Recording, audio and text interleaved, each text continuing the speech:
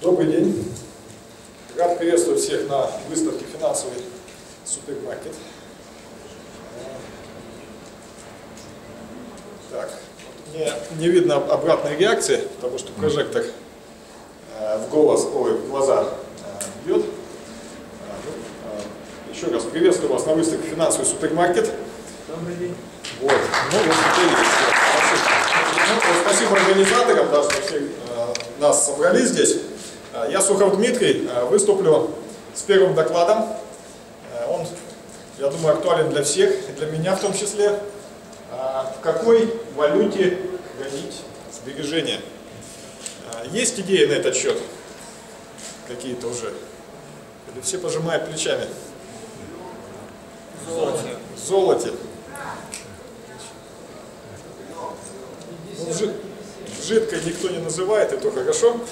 Вот. Ну, давайте начнем. А, У меня будет достаточно небольшая презентация, и э, с учетом регламента, того, что отведено всего порядка 30 минут, я не буду глубоко вдаваться э, в подробности. Основные выводы из своего, ну, можно даже сказать, исследования да, или анализа, может быть точнее, вам покажу, обосную, может быть кого-то удивлю, э, но результат будет достаточно объективным и э, точным с точки зрения фундаментальной оценки перспектив э, того, в какой действительно валюте нужно хранить сбережения, чему отдать предпочтение. Итак, в какой валюте хранить сбережения? Э, Значит, из чего будет состоять мой доклад? Первое, э, мы э, затронем вопрос э, того, что есть два назначения э, по личным финансам. Это валюта сбережений и валюта расчетов. Естественно, э, цели и задачи у э, каждой части личного бюджета либо для сбережения, либо для расчетов разные. И Дмитрий, можно чуть-чуть поближе к рту? поближе, да? Так, так лучше. Да, Все, отлично. Э, Первый момент. Второй, краткосрочные, долгосрочные прогнозы по валютному рынку я прокомментирую.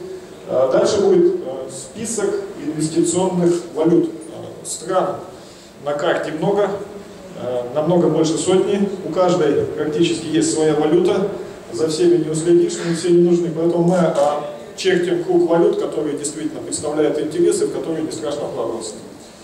После этого поговорим о стратегиях инвестиций, какие вообще подходы к, оценку, к оценке качества валют, это очень важно.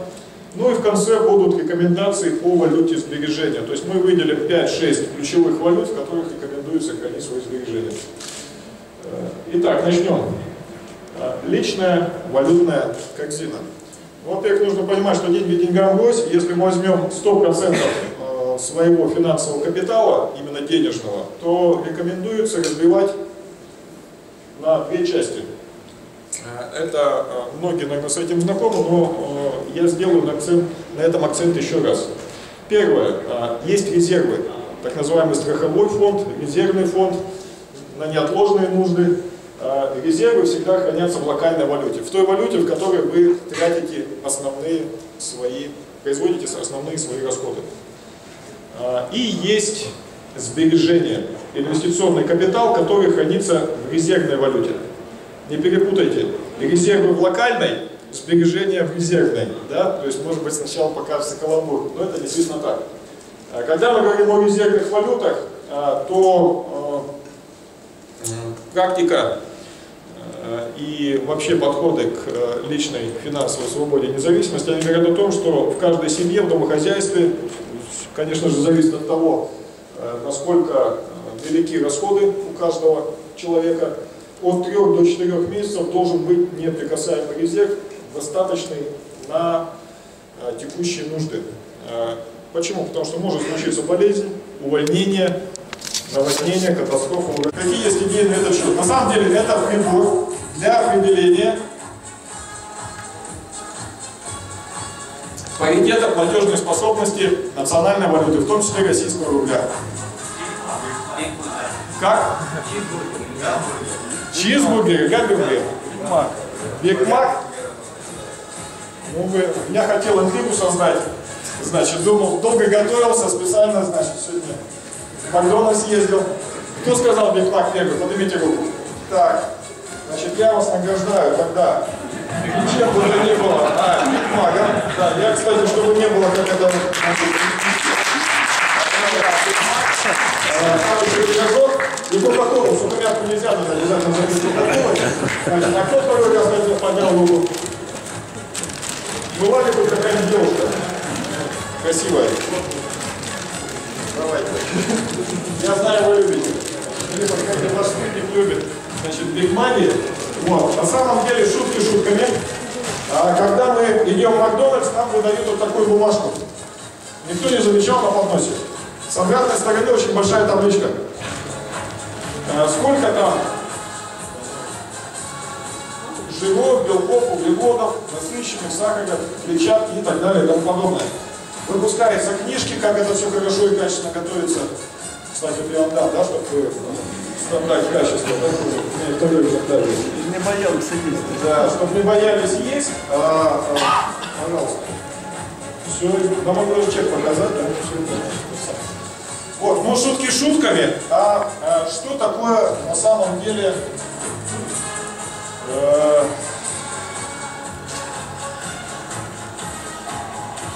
бумага, значит, тот самый бутерброд на фундаментальную тенденцию к укреплению.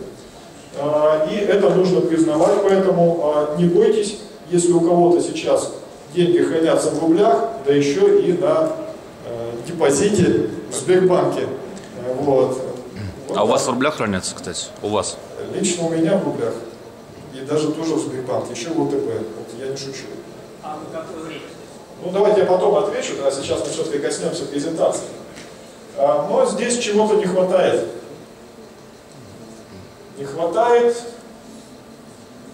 Китайской Народной Республики. Почему она не включена в этот рейтинг? Да потому что э, китайский юань, как заметили в начале презентации, это не свободно конвертируемая валюта, а простая, она называется трейдер One а я Сухов Дмитрий, эксперт по портфельным инвестициям, генеральный директор компании «Судный сервис». Буду вам полезен в вопросах управления активами, инвестиционного консультирования, а также обучения как базовой финансовой грамотности, так и более серьезным вопросам инвестирования. А, Значит, информацию о э, мне и текущей аналитике по рынку можете найти на сайте plan.ru. Все идет по плану у нас. Вот. А, а обучающую программу на сайте master.plan.ru.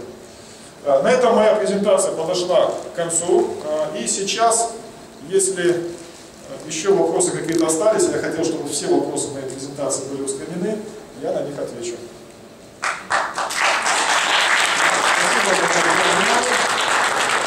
Спасибо Не знаю, э, организаторы, что мне махнуть, сколько времени еще осталось у нас?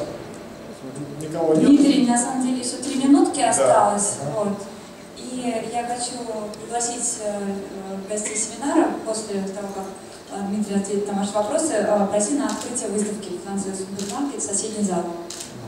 Ну, давайте, может быть, кто-то стесняется, не стесняется. Запишите мои реквизиты, если кому-то нужно. Можете ко мне подойти, я дам визитку.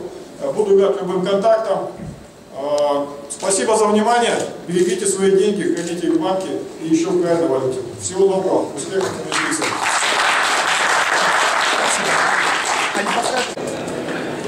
Здравствуйте, товарищи видеокамера.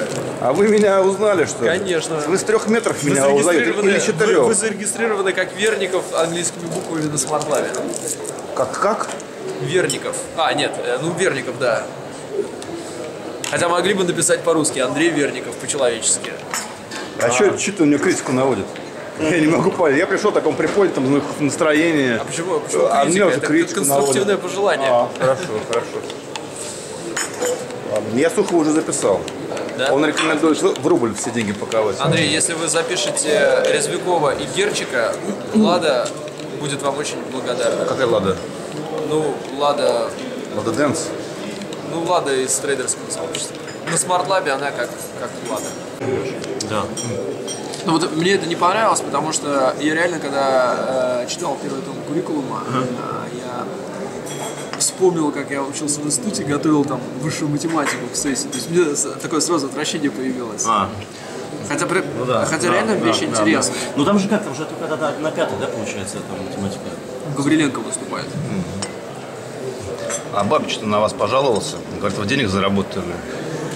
И, на этом основании умотали куда отдыхать. Когда? Опять он говорит, вот я когда у него был, Давно было. говорит, опять, говорит, он денег заработал, скотина, и уехал отдыхать. Нет, я не уехал. Ну так сказал, опять уедет. А, он думал, что я уеду. Да. Ну да. Но, к счастью, я не успел. А кто самое интересное на смартлабе вот, вы считаете, по-вашему? Или это некорректно, потому что вы хозяин ресурса?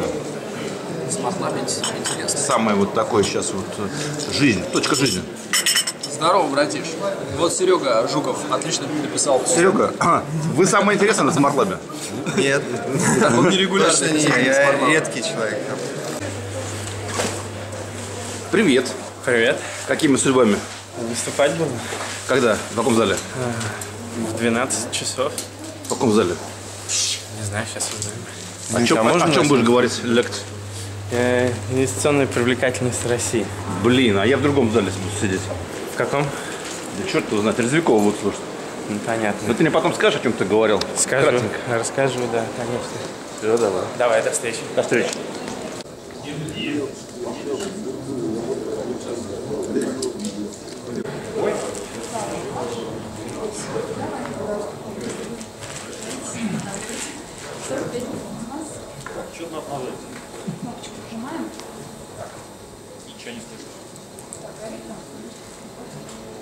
Будет слышно, сейчас будет слышно. Погреется.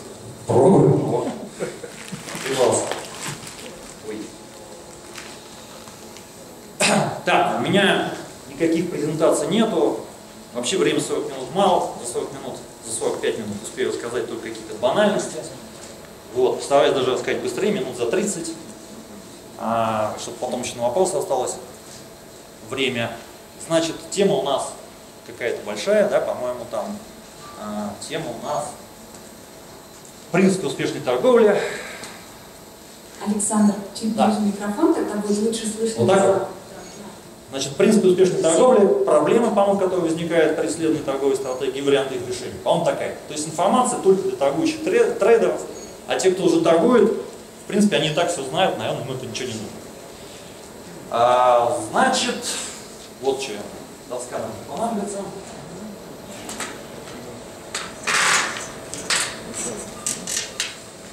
Вот смотрите, особенность нашего бизнеса, трейдинга, те, кто торгует, знают, что обо всем мы всегда получаем информацию задним числом.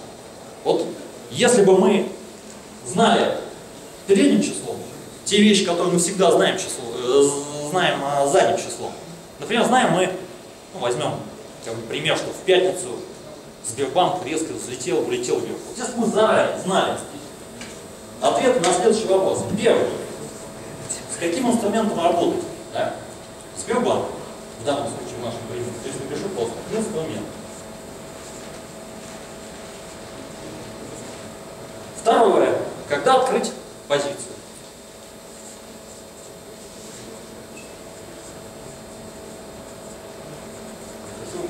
Да, как поздно.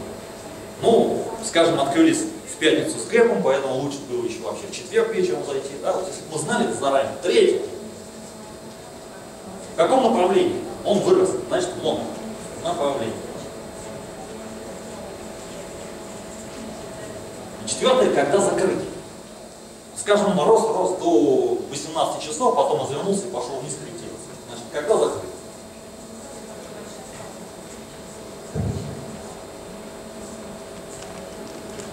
Вот, по сути, успешный трейдинг – это попытка найти на эти четыре вопроса, ответа на эти четыре вопроса. Найдите ответы на эти четыре вопроса, ну и, в общем-то, жизнь ваша станет скучной, интересной, только, так сказать, останется, что следует торговой стратегии. Согласны или еще какие-то вопросы есть? Бывают. Согласны? Так. А? Объем позиций. Смотрите. Ну, если мы точно знаем, точняк знаем, а у нас же все новички, дилетанты, неудачники, они всегда точняк знают, что все вырастет или все упадет, тогда на все сто процентов. Правильно? Это, ну, если точно знаем, если стопроцентный ответ был. Мы входим меньшим объемом просто потому, что не уверены, потому что у нас нет ответа на этот вопрос. А еще есть другие промежуточные вещи, скажем, Если цена пошла в нужную сторону, стоит ли переносить стоп э, в, без- в зону безубыточности, стоит ли его как-то двигать дальше, стоит ли пирамидиться, увеличивать позицию. Есть еще такие вопросы, но это уже, а, скажем так, тактика, да, а не стратегия. По сути, успешная стратегия – это попытка найти ответы на эти четыре вопроса. Я могу сказать, как я на эти вопросы себе отвечаю. А, Ну, а соответственно, проблемы, которые могут у вас быть в вашей торговле, это нарушение а, этих принципов, ответов на этих вопросы. Что мы можем сделать не так, имея четкую торговую стратегию? Мы можем либо Тут, тут может быть всего 5 ошибок. Надо понять, что нарушить, что-то сделать не так, вы можете всего облажаться, можете всего в пяти. Первое. Войти не там, не там, где ваша точка входа. Вот, не в тот момент, когда открыт позиция, это имеется в виду точку входа. А войти в какой-то другой момент или даже по другому инструменту. Причины этого часто бывают, ну, либо азарт. Вы не можете долго сидеть без позиции, сидеть ждать не можете дождаться до вашей точки входа. Либо на эмоциях, под воздействием от предыдущих сделок, неудачных, попытка отыграться. Либо, может быть, не знаю, у вас было большое количество каких-то там пустых, нулевых, безубыточных сделок или даже убыточных, просто хочется как-то, не знаю, размочить ситуацию, чтобы хоть какая-то прибыль была. Некоторые вот трейдеры считают, что каждый день надо обязательно закрываться в плюс, вот войти уже хотя бы, чтобы вот, да, там, что- что-то отбить какие-то убытки. Первое, что мы можем нарушить, войти не там, э, не так, как по стратегии. Второе место, вто- второе, вторая проблема, которая может быть, наоборот, увидеть точку входа не войти, боясь входа. Есть такая проблема, крайне редкая, но, ам, в общем-то, бывает. Третий момент, третья проблема. Вы вошли, но все стало разворачиваться не так, как вы думали. Цена пошла совершенно не туда. Вот третья ошибка, которую вы можете это не закрыть убыточную сделку. Ошибка, которую можете допустить. Четвертый вопрос, когда закрыть позицию. На самом деле он состоит из двух а, вариантов. Когда закрыть, если все пошло не так, с каким убытком небольшим. И когда закрыть позицию, когда все пошло в нужную сторону. Вот в данном случае пошло не так, вы не закрыли, пересидели убыток. Третье, нет, это была, это была третья, да, значит четвертая проблема. Цена пошла в вашу сторону, но вы не даете ей течь. Вы закрываете позицию раньше, чем та цель, ради которой вы входили. Не давать прибыли течь. И пятая проблема. Цена дошла до цели, не брать цель, не закрывать позицию. Чаще всего за этим стоит жадность. А вдруг еще налил, да, а вдруг вот, вдруг еще там 5, 5 копеек, а вдруг еще там 5 пунктов. Как-то так. Всего 5, 5 а, возможных ошибок. Ничего другого вы тут, по-моему, тоже не придумали. Согласны или нет? Или еще какие-то есть? По глазам вижу, что не согласны, но продолжим. Согласны, да? Тогда быстренько, как я отвечаю на эти вопросы себе. Смотрите, первый вопрос, как ответить на вопрос, каким инструментом работать. Надо понять, что вообще мы все спекулянты. Нам, в принципе, все равно, что покупать, что продавать. Наша цель – заработать деньги, а инструмент, актив, для нас, ну, как бы второстепенен. Но все-таки не совсем все равно. Да, кстати, кто-то думает, возможно, что они не спекулянты, а инвесторы, да, и поэтому имеет какое-то значение. Но на самом деле между этими понятиями крайне маленькая разница. Вы можете посмотреть словарь, например, посмотреть, кто такой инвестор. Человек, который рискует своими деньгами, чтобы заработать еще больше денег, да, вкладывать свои деньги во что-то. Спекулянт полностью подпад- под- подпадает под понятие инвестора. Есть более широкое понятие инвестора, да, есть более узкое понятие спекулянта. Спекулянт зарабатывает на разнице между ценой покупки и продажи активов. Так вот, любой спекулянт по сути является инвестором, просто это такой. Можно быть, скажем, а, спекулянтом, ну, можно быть инвестором, но не быть спекулянтом. Например, вы купили квартиру не с целью перепродать, если с целью перепродать дороже, да, вы спекулянт. А можно купить квартиру, чтобы ее сдавать, сдавать в аренду. Вы будете рантье, вы будете инвестор, но в данном случае не спекулянт, а другой тип рантье. Вот. А, поэтому все, все спекулянты являются инвесторами по определению. Даже у нас есть конкурс, какой называется, лучший частный инвестор, не лучший частный спекулянт. Собрались матерые спекулянты, она называется лучший частный инвестор. Или у нас э, понятие есть квалифицированный инвестор, который может работать с повышенными плечами, ну и так далее. Это точно инструмент спекулянта, правильно? Вот. Но в то же время, те, кто считает себя инвесторами, нет, я не спекулянт, я тут не фигней занимаюсь, я исследую рынки, я там вкладываю там надолго. Смотрите, за счет чего хорошо вкладываете надолго, за счет чего вы собираетесь получить свою прибыль? Все равно за счет того, за счет разницы цены между покупкой и продажей. Купить сейчас, продать через 5, 10, 25 лет. Просто очень вероятности большие, если вы работаете в лонг, что за 10, 20, 30 лет рынки отрастут. Вот. А так, вы точно так же зарабатываете за счет разницы между ценой покупки и продажи актива. А, правда, еще будут дивиденды, ну а что, спекулянт не может на дивиденды попасть? Тоже может попасть спекулянт, который торгует не внутри дня. Или, скажем, или, скажем, э, эта цель, разве ради чего входит? Ради дивидендов входит на рынок. Нет, цель все равно другая. Да? Заработать деньги. Поэтому практически все те, кто отрицает, что они спекулянты, на самом деле являются, нет, говорят, нет, мы инвесторы, на самом деле тоже являются спекулянтами, потому что зарабатывают между разницей между ценой покупки и продажи.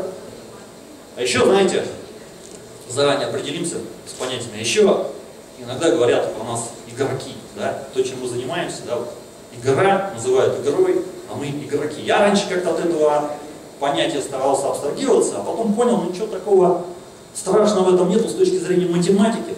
Всегда э, с точки зрения математики, да, мы делаем ставки, потому что будущее неизвестно, кто еще не понял на фондовом, торгуя на фондовом рынке, будущее непредсказуемо. Мир создан таким, что будущее непредсказуемо. Речь идет только о вероятности того или иного события. Мы делаем ставки на вероятности. А, соответственно, то есть видите слово даже ставки, это называется игрой, просто есть нормальные игроки, а есть азартные игроки. Это те, которые не контролируют свои риски, которые цена пошла против, они сидят пересиживают. Цена пошла в нужную сторону. Тоже на эмоциях закрывается, например, раньше не дает прибыли течь.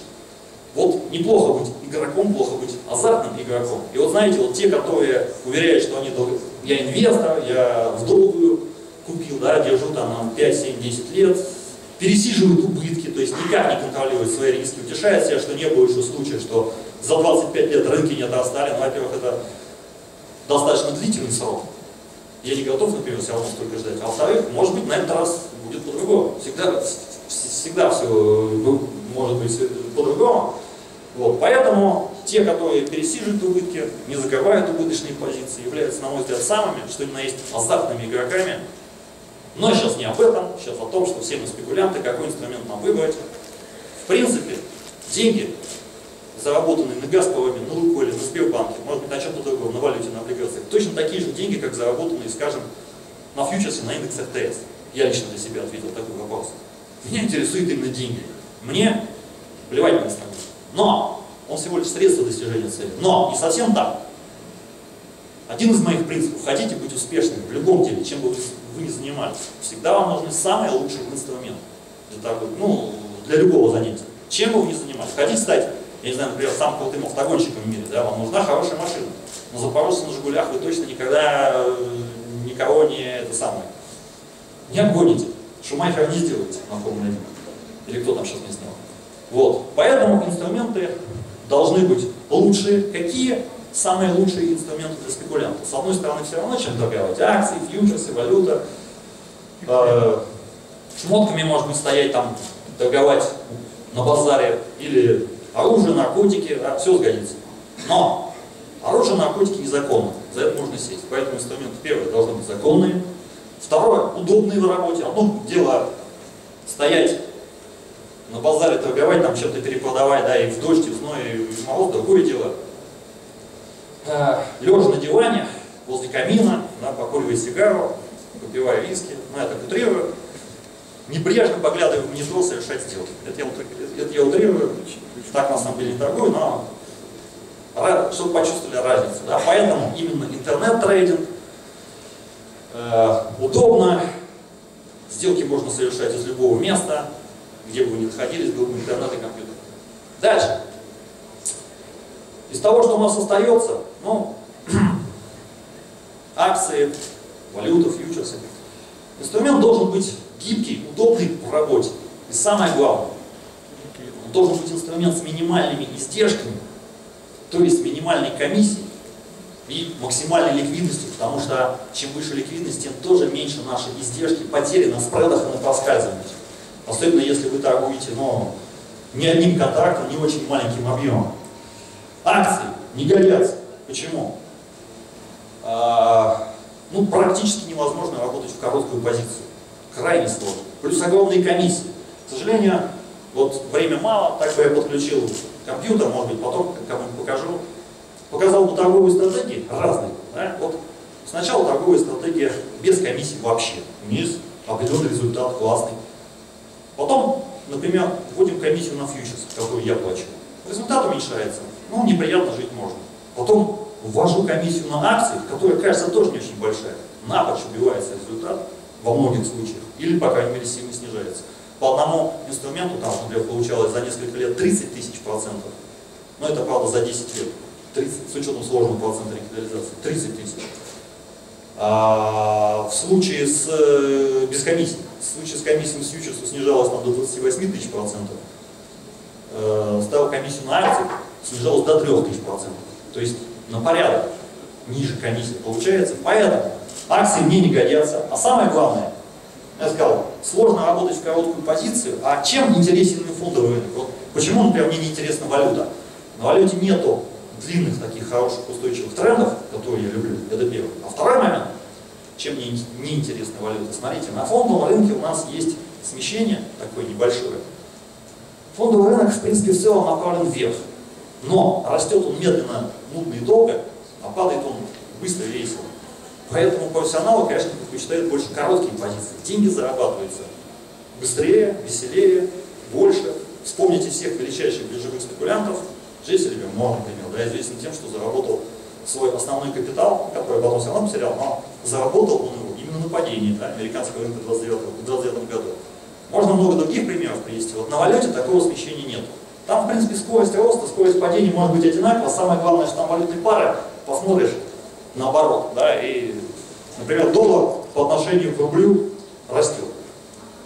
Растет, может быть, там быстро. Точно такой же график наоборот, рубль по отношению к доллару, точно так же быстро падает. Потом тенденция изменилась, что-то наоборот пошло. На фондовом рынке у нас есть четкое такое смещение, то, что падаем быстрее и веселее. Особенность такая, приятная особенность нашего бизнеса, чем мне нравится им заниматься. Когда у всех все хорошо, вот, в обычном бизнесе люди ходят на работу, зарплаты растут, бизнесмены зарабатывают деньги, инвесторы зарабатывают, зарабатывают деньги, а, пенсионеры, студенты получают пенсии и стипендии вовремя, они тоже повышаются. Спекулянтам нам в этот момент тоже хорошо. Да? Но когда все становится плохо, когда людям не повышают зарплату, а то еще и сокращают, кризис, как 2008 год, например, да, вот был.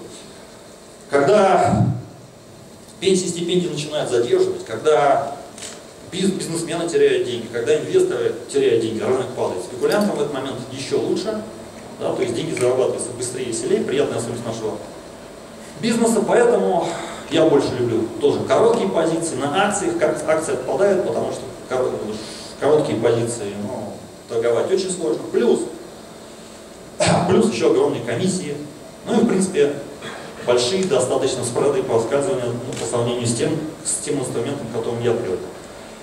Валюта, как я сказал, тоже мне в этом плане не нравится. Поэтому фьючерсы, более гибкие инструменты, более удобные в работе с маленькими комиссиями и комиссиями. И еще есть одна другая особенность. У нас на фьючерсах тесно между собой связаны волатильность и плечи. То есть у нас маленькая волатильность, у нас в этот момент обычно большие плечи можно зарабатывать за счет финансового рычага. Да, скажем так. Если у нас большая волатильность, то, с одной стороны, классно, хорошее движение, как в 2008 году было, а 4 года назад мы падали, достаточно сильно падали, внутридневная волатильность была очень большая, средняя волатильность, я считал, за последние 10 дней 13, 14, 15 процентов, но плечи подрезали, было плечо меньше второго на том инструменте, на котором я работаю, фьючерс на индексе РТС, то есть э, гарантийный течение было 55 процентов, плечо меньше второго. Вот. Но вот есть такая взаимосвязь, которая дает возможность заработать и на маловолатильном рынке за счет плечей. Меня многие критикуют, то, что вот я использую большие плечи. Ну, во-первых, это я использую, я к ним готов, я натренирован, я никому э, это не советую, не рекомендую, да, сразу. э, с больших плечей. Вот. Но, понимаете, здесь большие плечи, они, достаточно, они просто компенсируют маленькую волатильность. А когда мы падали сильно, да, в 2008 году, у меня были маленькие плечи, я не мог сейчас физически открыться. Тогда я был нормальный, получается, тут я не нормальный с большими плечами, да? Нет, важнее риск на сделку, вот, а не то, с каким плечом ты работаешь.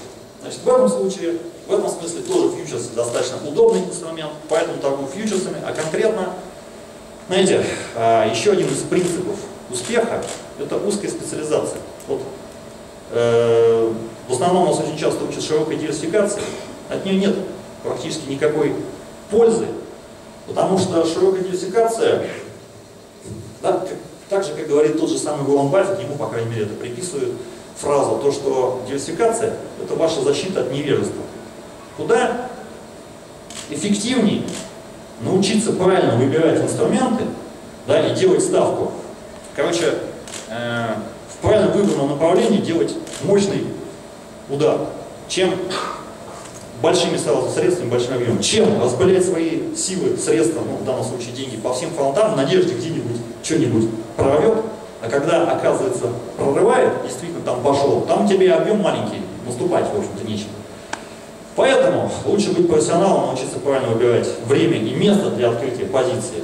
Диверсификация, она считается защитой от рисков, но у спекулянта есть куда более эффективный способ. Это защитный стоп-заявки, если что-то пошло не так. А у инвестора тоже есть более эффективный способ, это хеджирование. Да? Опять же, с помощью фьючерсов хеджироваться. Чем покупать кучу инструментов, а еще, знаете, многие еще диверсифицируются так. Если не акции, акции, допустим, падают, то, например, золото в этот момент растет, покупают золото. Если золото падает, ну, есть вообще облигации, которые всегда дают маленькую, но какую-то доходность. Плюс валюта, плюс еще что-то. И так можно додиверсифицироваться до того, как один мой знакомый торгует. У него все, у него в любом случае где-то что-то падает, где-то он зарабатывает, в итоге всегда сидит в нуле, практически. Еще и большое количество инструментов а, отслеживать сложно, неудобно. Поэтому не надо мне много инструментов, я уже давно это понял. Да? Лучше сосредоточиться, лучше знать один, два, три, но зато знать его во всех подробностях, во всех движениях, изучить его хорошо. Всегда, если вы вспомните, посмотрите вот истории многих успешных людей, которые достигали не обязательно в трейдинге, а в разных отраслях, в науке, в искусстве, среди них очень редко были люди, как сказать, широкой э, специализации. Обычно это были узкоспециализированные специалисты, они просто все силы тратили на то, чтобы сосредоточиться на своем вопросе, на своем инструменте, поэтому они были там лучше. Поэтому много инструментов мне не надо, более удобные инструменты фьючерса, так я ответил на все вопросы. А конкретно я работаю с фьючерсом на индекс RTX. С 2007 года, по-моему, не сделал ни одной сделки, кроме одного инструмента. И там точно такие же деньги, что на акции, что на, что на, э, на валюте. Э, только зарабатывать их удобнее, проще. А, поэтому так я ответил на себя, для себя на этот вопрос. Давно уже не интересуюсь другими инструментами. Нет, я мог бы торговать 3, 4, 5, но проблема в том, что следующие инструменты с такой же ликвидностью, с такими же небольшими комиссиями, все равно комиссии уже побольше, ликвидность меньше, но Следующий у нас инструмент на нашем рынке. Фьючерсный ЦД самый ликвидный инструмент российского рынка, даже один из ликвидных фьючерсных контрактов в мире. А вот следующий фьючерс на доллар мне уже менее интересен, потому что валютный фьючерс. Ну а дальше там фьючерсы на акции, вот, тоже мне поэтому, в этом плане менее интересны. Поэтому именно так я ответил себе, нашел ответ на первый вопрос. Дальше. Когда открыть позиции в каком направлении? Ну сначала надо, конечно, понять, какое направление в каком направлении, куда пойдет рынок, тут вы знаете. Вообще, в основном все парятся именно насчет этого, когда открыть позицию. Но, скажу вам заранее, самый главный вопрос не когда открыть, а вот когда закрыть. Именно выходы делают вас успешными, а не входы. Хотя все парятся насчет точки входа. Говорят, что мне э, часто, ну вот если такой умный, да, вот скажи, куда пойдет рынок, мы потом посмотрим, куда он пойдет. Да я зарабатываю, как и все, не за счет входов. Будущее непредсказуемо все может быть и не так. Да, я ищу какое-то смещение вероятности, что одно событие более вероятнее, чем другое. Да, по сути, в общем-то, везде так. И в бизнесе, и в инвестировании мы делаем ставку на вероятность. То, что более вероятно, что заработаем, чем потеряем. Но если потеряем, потеряем чуть-чуть, немного. А если заработаем, заработаем гораздо больше. Вот найдите такие моменты. а, это и будет вашей там, точке входа, направлении точки входа. Но все может пойти не так, да, как я говорил, только, речь идет только лишь о вероятности. И поэтому куда более важный вопрос, когда вы закроете позицию, если все не так, как, как немного вы потеряете, и как долго вы сможете сделку, если все пойдет в нужном направлении. То есть не закроетесь ли раньше на эмоциях, ну и так далее. А, кто у нас, по-моему, Джо, Джо Сорос, по-моему, ему вроде приписывают слова, что он сказал, не так часто, как вы, не так важно, как часто вы правы. Важно, как мало вы теряете, когда вы не правы. И как, как много вы берете, когда вы правы. Вот что самое главное. Именно выходы. Даже, даже можно провести такой эксперимент, пример. Я сотни человек могу дать одну и ту же точку входа, и она будет вполне хорошая, отличная точка входа. Но кто-то, ну не скажу по выходу, большинство, как показывает практика, процентов 90 деньги все равно потеряет, несмотря на хорошие точки входа. Кто-то заработает, кто-то останется в нуле, и разница между этими людьми будет только в выходах. Как быстро они признавали убытки, как долго могли висеть прибыль. Но сейчас у нас все-таки, знаете, я бы так сказал, это суть, это основа торговой стратегии. Именно риск-менеджмент, управление рисками, управление капиталом, именно ваши точки выхода. В принципе, здесь все вполне логично. Здесь все как в обычном бизнесе. Вот смотрите, хотите, хотите просто разбогатеть. Надо, чтобы к вам денег приходило больше, чем уходило, правильно? Вы начнете богатеть. Вот она, основа любого финансового благосостояния и э, основа э, точно так же и суть любой успешной торговой стратегии на фондовом массорочном рынке. Хотите похудеть, например, тут наоборот, надо, чтобы выходило больше, чем хотите, да, будете худеть. Хотите разбогатеть, надо, чтобы денег приходило больше, чем уходило. Поэтому суть, основа любой торговой стратегии, то, что говорят, то, что все успешные спекулянты вам скажут, то, что Саша Герчик сейчас придет, тот будет через несколько часов выступать, он то же самое скажет, что позаботьтесь о своих убытках, прибыль, если позаботиться сами, это его э, тоже принцип. Единственное, что мы можем контролировать, наши убытки. Цена пошла против, значит, сидим, э, значит, обрезаем убыток. Пошла в нужную сторону, надо высиживать прибыль. Но, и, кстати, знаете, у меня есть результаты тестирования, эта стратегия очень часто работает и при случайном входе. Просто вот есть у меня какой-то, потом, может быть, как-нибудь покажу, в общем-то, часто показываю, а, торговая стратегия основана на случайном входе. И именно не случайными выходами она становится, благодаря не случайным выходам, она становится успешной. Более того, знаете, по одной и той же торговой стратегии, там два варианта. Всегда входим в лонг, другой вариант всегда входим в шорт, и тоже зарабатываем деньги. И там, и там, ну, конечно, это не очень классная торговая стратегия, вот, но тем не менее у них получается положительный мат ожидания именно за счет выхода. Хотя в той же самой точке мы входим прямо в противоположном направлении. Попробуйте даже провести такое тестирование самостоятельно. Увидите, вот. Но, конечно, входить случайно не имеет смысла. Лучше, зачем? Лучше научиться правильно выбирать направление и правильно выбирать, э, выбирать точку входа. Итак, направление. Как вы знаете, у нас есть огромное количество методов, которые можно разделить. Как сказать, вот покупая какой-то актив, например, акцию, мы покупаем частичку какого-то предприятия, частичку бизнеса, да? ну, скажем, вернемся к Сбербанку. Есть первый путь, попытаться проанализировать, что творится с этим, самим бизнесом, что творится со Сбербанком, какая, э, какие у него перспективы, а, какая там сейчас ситуация. Это все у нас, эти все методы относятся к фундаментальному анализу, да, так называемый фундаментальный анализ. А есть другой принцип, плевать вообще, чем торгуем, смотрим просто котировки, как изменялись котировки. А, например, видим какую-то картинку, что цена складывается таким образом. Взлетаем, коррекция незначительная, близко к боковике взлетели, и вот сейчас вот здесь находимся. Что будете? Покупать, продавать? Я вот скажу, посмотрите на график. Сказали покупать. Мнения могут быть разные. Что? На правовой хайер? Здесь? Хорошо, пробили. Пробили, дальше смотрим. А, стоп за... Значит, тоже еще. А? Значит, тоже не хватает. Пробили.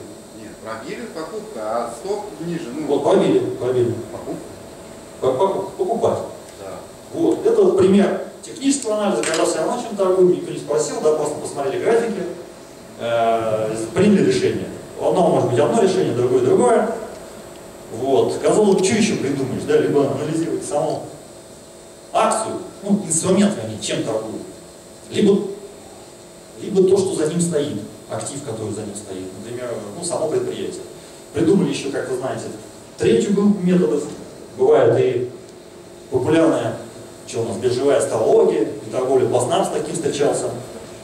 Это все смешно, есть другие методы, которые многие пользуются, но они, по мне, на мой взгляд, такие же смешные, только никто насчет них почему-то не смеется. Например, корреляционные методы анализа, изучать, куда пошла Америка или нефть еще, а выводы делать о своем инструменте, или изучать вообще какие-то там мистические уровни Фибоначчи, которые мало имеют какое-то отношение к фондовому рынку. Вообще-то корреляционные методы анализа и всякие там Фибоначчи, Тамагочи, тому подобное, это все входит в технический анализ. Но по сути своей это изучать что-то другое, потустороннее.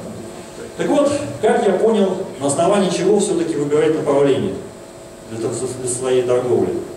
И самое главное, потом еще искать точку входа. Когда я пришел, когда я начинал, меня, как на любого новичка, давило со всех сторон огромное количество информации. Я слушал аналитиков, но они же такие умные слова знают, да, в костюмчиках, в галстучках, по телевизору рассказывают. А как, как вот понять, что такой человек может говорить, что его слова, как понять вообще, догадаться новичку, что это просто шоу-бизнес, что о будущем он знает. Не больше, чем я, я по ним ни хрена ничего не знаю. И эти люди тоже ничего не знают. Соответственно, слушал верил, а еще читал новости, огромное количество новостей, а еще и а, читал чаты форумы, ну это вообще, конечно, самое. А еще ну, когда-то пользуюсь корреляционными методами анализа, смотрел там Америку и всякими разными средствами технического анализа, индикаторов, осцилляторов. Как понять, да, огромное количество информации дает новичков, как понять? Согласитесь, наверное, что одно из важных умений в любом деле, опять же, один из важных принципов, в любом деле, чем бы вы ни занимались, это умение понять, где полезная информация, где полезный сигнал, а где просто шум. И принимать решение на основании полезного сигнала, а не на основании шума. Согласны, что это важное умение, которое лежит в основе достижения успеха, где бы то ни было. Вот я тоже поторговав, мне везло, могу сказать сразу, я пришел в такое время, когда начался рост на рынке, конец 2004-2005 год, зарабатывал, не зарабатывал там, по-моему, тогда только ленивый, все время в лонг, со вторым плечом, без топов, и рынок практически всегда прощал, я зарабатывал деньги. Слава богу, вовремя перешел на фьючерс, они быстро научились, что к чему. Если бы я так продолжал торговать, я бы достаточно быстро э, деньги свои потерял. Итак, как, как понять, какая информация полезная, а на какую не стоит обращать внимание, а на фондовом рынке мы имеем, что у нас 99% информации, если не больше, это пустой шум, полезной информации крайне мало. Значит, как понять? Тут мне помог такой принцип, знаете, это как вот врачи говорят, у них есть такая пословица, что всего, к сожалению, у человека не отрежешь, кое-что приходится лечить. А вот они считают, что то, что можно отрезать, это не главное. То, что вот не отрежешь, голову, например, не отрежешь, приходится лечить, значит, значит это важное, главное в человеке, да. Вот по такому пути я пошел, пошел тоже я, я стал убирать из своей торговли все не нужно. Ну, вернее, постепенно просто убирать. Если оказывалось, что можно торговать спокойно, без этого, результат никак не менялся, значит, оно не могло быть полезным сигналом. Значит, это был шум. Сначала я отказался от аналитиков, перестал слушать вообще. Ничего не изменилось. Я понял, четко понял, и вы это поймите, будущее непредсказуемое, никто не знает будущего. Нефига слушать других людей, которые у которых о будущем не больше э, знаний, так сказать, чем, у вас. Вспоминая всяких разных там предсказателей, которые кто-то что ли предсказал, особенно любят еще Нострадамуса, да, например, приводить. Вы изучите Нострадамуса, вы поймете, там тоже из сотни прогнозов сбылось 2-3. Но помните его благодаря этим прогнозам. Еще штук 15-20 написано таким языком. Ну, кто что хочет, тот увидит. Там огненные колесницы какие-то там, это вот что это, то ли реактивный самолет полетел, то ли ядерная ракета, то ли в них, да, то ли метеорит. Штуку более 80% не сбывались напрочь его прогнозы. Поэтому с этим надо смириться, будучи непредсказуемым, даже не пытаться его предсказывать, и нефиг слушать людей, которые говорят, что они что-то там знают, спорят. Речь идет только о вероятности того или иного события. Перестал слушать аналитику. Дальше, перестал читать новости. Когда я был очень умным человеком, читал прочитывал абсолютно все, что мне попадалось, то, что мне терминал снабжало, еще по, по каким-то сайтам лазил. В конце концов тоже понял, что понял такую простую вещь, что никакие новости рынками не двигают. Рынками двигает реакция трейдеров на эти новости. А реакция очень часто бывает непредсказуемой. Бывают новости плохие, а мы растем. Почему? Оказывается, ну все знали, что будет плохо, но оказалось не так все плохо, как ждали. Да? То есть речь идет об отклонении от ожиданий. Или выходит новость хорошая, мы падаем. Потому что все думали, что хорошо, а оказалось не так хорошо, как ждали. Оказалось чуть хуже, чем ждали. То есть, видите, уже в самой цене даже заложено какое-то ожидание каких-то новостей. Не говоря о том, что есть категория людей, которые все новости узнают раньше и уже успевают их, а раньше обычный человек уже успевает их отработать. Когда я слушал новости, я был очень умным человеком. Я за несколько месяцев изучил больше, выучил больше, чем за пять лет учил в университете. Сейчас этот человек достаточно тупой, иногда очень слабо, слабо представляет, что творится в мире, но зато денег стал зарабатывать гораздо больше. А самое главное, появилось много свободного времени, перестал слушать новости, читая, самое изучать. Эм, а знаете еще, еще некоторые пытаются узнавать новости, вот что-то мы расстрельнули, задним числом еще пытаются узнавать. А что произошло, а что произошло? То есть это, ну, во-первых, всегда практически любую новость можно подогнать под, под какой-то состоявшийся рост, объяснить. Да, а во-вторых, что, что это вам даст? Движение уже прошло. Дает это якобы понимание. О, да, я понимаю процессы, которые творятся на рынке. Задним числом. На самом деле, вряд ли вы что-нибудь понимаете, потому что, скорее всего, речь уже идет подгонка задним числом. Знаете, вот даже приведу такой пример. А, как-то у меня была практическая торговля, мы с ребятами сидим, торгуем. И был боковик, ну, этот год вообще такой у нас тяжелый. Такой боковичок, боковичок, сидим. Вдруг рынок неожиданно там двумя свечками улетает вверх хорошо, там где-то больше тысячи пунктов. А, несмотря на то, что я рассказывал перед этим несколько дней, да, что это, они говорят, ну, да, ну блин, там что случилось, давайте посмотрим, давайте посмотрим, что за новость. Предположить это движение было крайне сложно, оно неожиданно прошло. Вот сделали такой эксперимент. Я говорю, давайте сейчас вот просто любую новость открываем, от первой попавшейся. Вот в Яндекс сейчас найдем, вот что наверху будет висеть, попробуем объяснить это движение с точки зрения этой новости. Открываем Яндекс, там написано, дело было в понедельник, там написано, вчера в Москве была попытка провести там как бы несанкционированный гей-парад, 70%, 70 участников задержан. И один парень сидит перед ним, да, говорит, конечно, понятно, смотрите, шортить на таком рынке могли только пидоры. Они все тихо арестовали вчера. Вот рынок и пошел. Видите, любое даже вообще не связанное с рынком, можно найти какое-то какое такое объяснение. Поэтому, тем более, что это задним числом. Поэтому э, отказался я от новостей, ничего не изменилось. Я как заработал, так и продолжил забрать. Потом, правда, появилось много свободного времени, посиживал надо в чатах, форумах. По чатах, форумах, что могу сказать? А, там бывает иногда полезная информация, типа вот мало. Узнаете интернет, это огромная помойка. Там, конечно, у нас, как сказать, любой человек, который ничего из себя в жизни не представляет, может теперь стать блогером да, и писать всякие гадости. Ну, на хороших вещах, если кто-то человек будет писать хорошие вещи, на это не послаешься, да, лучше всего, чтобы тебя заметили писать всякие гадости, поэтому интернет представляет огромную помойку, на мой взгляд, где бывает иногда полезная информация.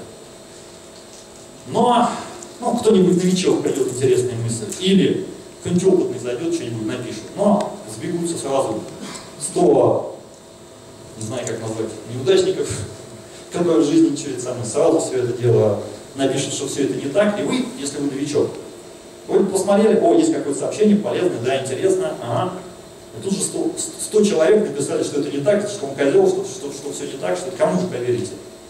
Умный человек поймет, да, не умный человек, опытный трейдер поймет, что это было полезно, но ему уже это не надо. Не, новичок вряд ли там что-нибудь полезное найдет. У нас же, ну, как говорят, у нас вся страна знает, например, как играть в футбол, кроме 11 идиотов, которые гоняют мяч по полю. У нас все знают, как управлять страной, да, кроме Путина и Медведева, похоже. Вот, вот так все. Любой таксист, парикмахер, все знают. Точно так же все знают, как торговать на, на этих самых началах, на форумах, только почему-то, блин, им важнее сидеть на чатах и форумах, чем заниматься делом. Да? Только вот девочек не умеет торговать, там, кто у нас Элда, Ларри Вильямс, все, кто книжки пишут. Я не умею торговать, и все остальные. Вот. Поэтому когда-то из-за того, что интернет такая большая помойка, отказался, перестал посиживать на чатах форумах, тоже ничего не изменилось. Вот так вот я постепенно все убирал свои торговли, перестал смотреть Америку, нефть, коррекционные методы анализа, тоже ничего не изменилось. Как торговал, так и зарабатывал. Изме... Убрал индикатор осциллятора. Во-первых, я их изучил все практически. И понял, что все то же самое я могу увидеть еще раньше любого индикатора, либо, по крайней мере, так же, а иногда чаще раньше, в цене инструмента. Последний отчет казался это объемом, не смотрю даже объем. Вот без чего не могу торговать, это цена инструмента. Все, на что я смотрю, то есть э, стопроцентный теханализ. И это, кстати, даже не я придумал, а первый постулат в техническом анализе, что все есть в цене торгуемому инструменту, да, никакой другой информации не нужно. Цена ушла все. Я когда это осознал, когда сосредоточился только на этом, вот дела пошли достаточно хорошо, очень мало времени стал тратить на торговлю, стал смотреть за ценой, нашел некоторые какие-то вещи, ну, которые невозможно отрицать, так было, так есть, так будет всегда. Значит, что было, есть, будет всегда? Цена всегда на ликвидном рынке, правда, надо сказать, на ликвиде может быть по-другому, но на ликвидных рынках цена всегда изменяется волнами. И никак иначе. Согласны? На неликвиде могут, может не быть волн. Пошла сделка, потом нету полгода сделки, да, другая пошла в другом месте, потом третья в третьем месте. То есть какой-то может такой быть разброс. На ликвидных рынках цена всегда изменяется волнами. И так было сто лет назад, так есть сейчас. У кого-то есть сомнение, что через сто лет так что-то изменится. По сути, что такое вот цена меняется? Да? Из-за изменения баланса спроса и предложения. Грубо говоря, появляются желающие покупать дороже, истекает желающие продавать дешевле, цена пошла вверх. Потом, дойдя до какого-то момента, стало слишком дорого. Иссякли желающие покупать дороже, но появились желающие зафиксировать позицию, баланс сменился в сторону предложения, цена пошла вниз. Это у нас Мавроди только со своими билетами МММ хотел пойти когда-то против, э, против природы рынка, да, чтобы всегда только росли. Всегда у него билеты только росли, росли, но в какой-то момент количество закрыть свою позицию, избавиться от этих билетов, все равно превысило количество желающих купить, было как всегда, на, как бы там помню, психологически важной цифре, да, 100 тысяч рублей дали какими-то старыми деньгами, вот. И вся эта пирамида рухнула, полетела вниз. По сути, движение цены это отражение баланса спроса и предложения, который болтает вот так вот, туда-сюда, как маятник. Только это идет не горизонтально, так вертикально. Поэтому цена всегда изменялась волнами. Так было, есть и будет. Дальше. Последовательности волн, последовательности максимумов, минимумов волн всегда могут, они могут представлять из себя только 9 вариантов. Это чисто геометрически. Цена не может никак по-другому меняться, кроме как 9 вариантами. Это тоже, ну, сейчас нету времени рассказывать, так уже к концу подходит, вот, поэтому, поэтому не буду сейчас долго на это заострять внимание, вот. А, самая лучшая точка входа, это уже конкретно, где войти, вхожу я всегда в направлении повышающихся волн, либо снижающихся, предпочтение, конечно, снижающихся, но тоже так было, всегда, так есть и будет. Самая лучшая точка входа – входить в направлении волн после коррекции, в самом начале движения. Вот эти вот какие-то места искать. Вот многие действительно любят по пробою. Мне точка не совсем понятна. Очень часто, ну, конечно, когда хорошее движение, когда боковые коррекции, конечно, это, это здорово совпадает. Но очень часто мы из-за этого уже входим достаточно поздно, понимаете? Смотрите, наверное, тоже согласитесь с такой вещью. Чем больше цена пошла без коррекции, тем больше назревает вероятность коррекции. Согласны? Ее может не быть. Но вероятность возрастает все больше и больше и больше. Где самая маленькая вероятность коррекции? В самом начале движения. Когда она пошла, в самом начале движения вероятность коррекции самая небольшая. А еще обычно здесь следует некоторое ускорение. Вот даже у меня тут получилось на графике. Видите, смотрите, любая волна, она как бы имеет вот какой-то есть этап ускорения, а потом наоборот этап замедления. И вот вот они, самые лучшие моменты, самые лучшие точки входа после прошедшей коррекции в начале новой волны. Вот где у нас получается жирная цель, войти в эти жирные цели, получив волну. Может быть, даже потом пересидев коррекцию, взять следующую волну, следующую. И с коротким риском. Вот где у нас получается минимальный риск. А точка входа это и будет то место, где можно войти с коротким риском, с хорошей вероятностью, а ради жирной цели. По сути, вот она так в любом бизнесе, так точно так же и в трейдинге тоже никогда ничего не изменится. Никогда самая лучшая точка входа не будет входить на хай волны или посередине волны. Тут всегда будет входить хуже, чем в начале волны. А где могут быть стоп ставить? Смотрите, ну, тут мне просто сейчас достаточно сложно это рассказывать. Дело в том, что есть еще один момент, просто времени нет, упоминать не буду. А, вернее, раз спросили, расскажу. Э, не хотел упоминать, вот. Вот эта волна, любая волна, всегда состоит из своих более маленьких волн. Согласны? Так тоже было, есть и будет всегда. Единственное исключение тиковые графики, где каждая точка это сделка, там она уже из более мелких волн не состоит. Поэтому логично было, войдя здесь, поставить, как многие делают, вот тут узкую. Но он получается все равно достаточно большой, для меня неприемлемый. А так как вот эта волна идет своими маленькими волнами, входить я буду, точку входа, на маленьких волнах. С целью поймать большую волну. Вот как получается отличное, обалденное соотношение прибыльных и убыточных сделок.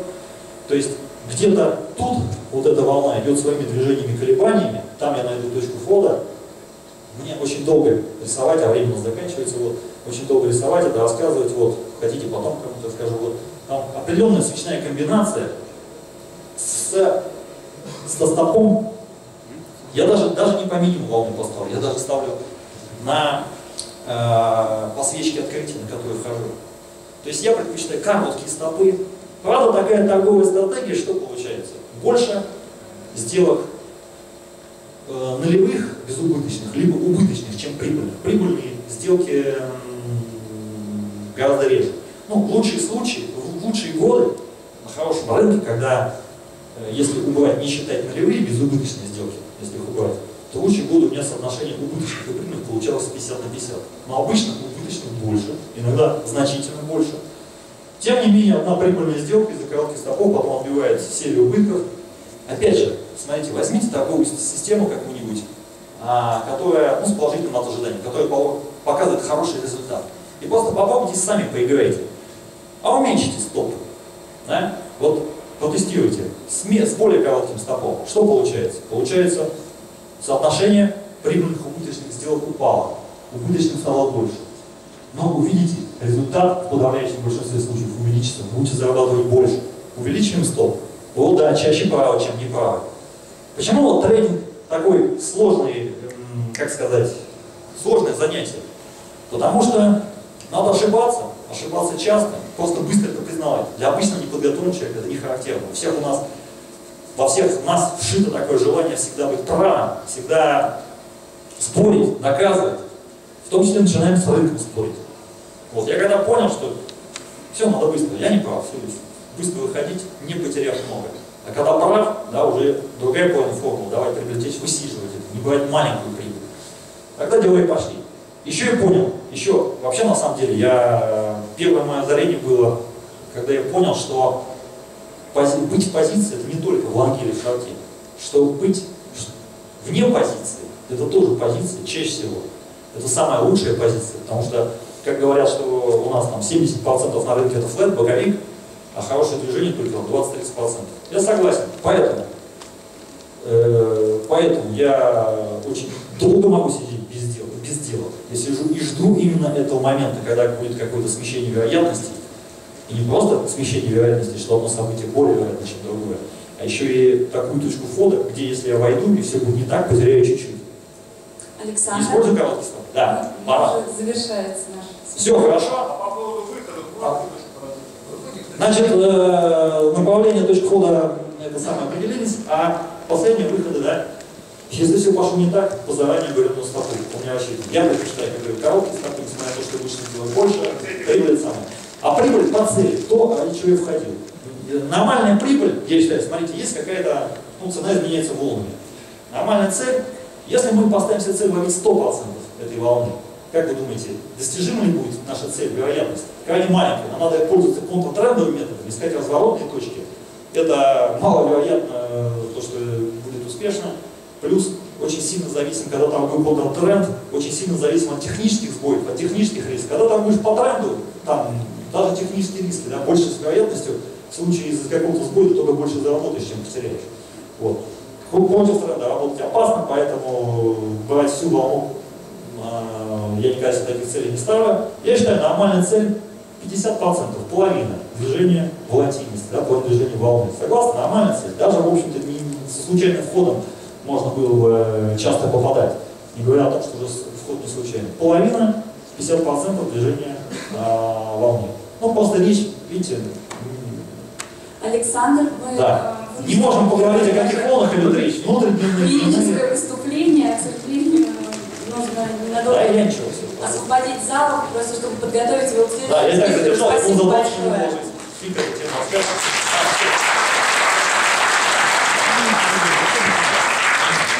Уважаемые гости, предлагаем вам посетить э, выставку «Финансовый супермаркет», которая проходит в соседнем зале в. А. Ознакомиться с уникальными предложениями наших. Что, э, все готовы? Если все готовы, то я думаю, что можно начинать. Спасибо.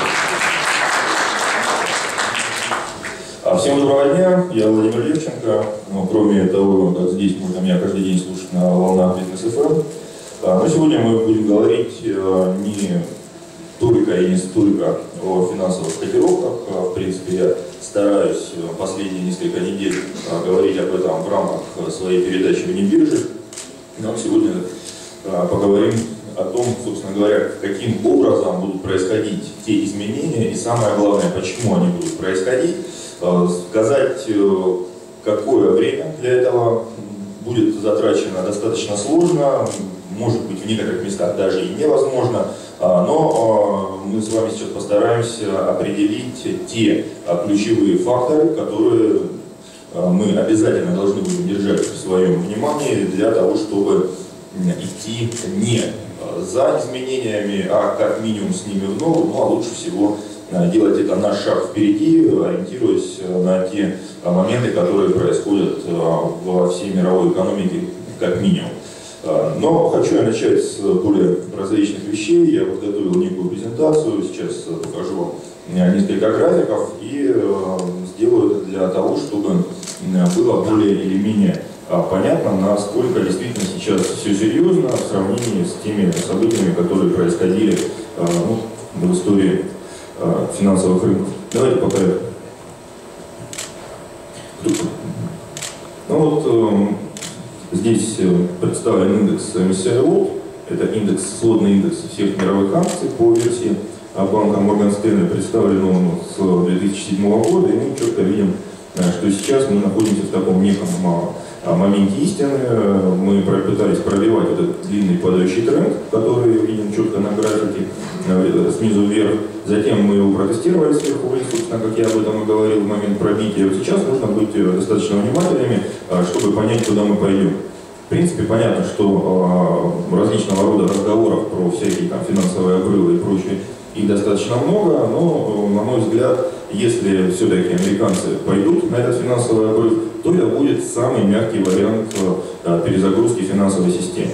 Если же они на него не пойдут, ну тогда мы увидим э, массированную атаку на американский э, государственный долг, причем со стороны самих же американских э, участников финансового рынка. Это будет гораздо более серьезная штука. Ну и все прекрасно мы знаем, что циклы длятся роста и падения ставок от 30 до 35 лет. Предыдущий пик ставок был с 80 по 82 год, 30 лет цикла падения ставок прошло. Соответственно, где-то в ближайшие годы мы будем свидетелями разворота и нового цикла роста процентных ставок. Другое дело, что никогда еще в истории мы не приходили к моменту окончания цикла а, падения процентных ставок вот с таким плачевным состоянием мировой экономики.